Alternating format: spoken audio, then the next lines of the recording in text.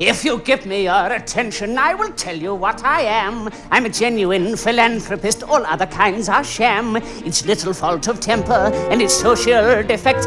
In my erring fellow creatures, I endeavor to correct. To all their little weaknesses, I open people's eyes, and little plans to snub the self sufficient I devise. I love my fellow creatures, I do all the good I can. Yet everybody says I'm such a disagreeable man, and I can't think why.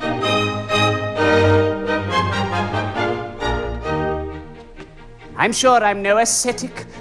Pleasant as can be. You'll always find me ready with a crushing repartee. I've an irritating chuckle. I've a celebrated snarl. I've an entertaining snigger. I've a fascinating leer. To everybody's prejudice, I know a thing or two. I can tell a woman's age in half a minute, and I do. But although I try to make myself as pleasant as I can, yet everybody says I am a disagreeable man, and I can't think why. I Can't think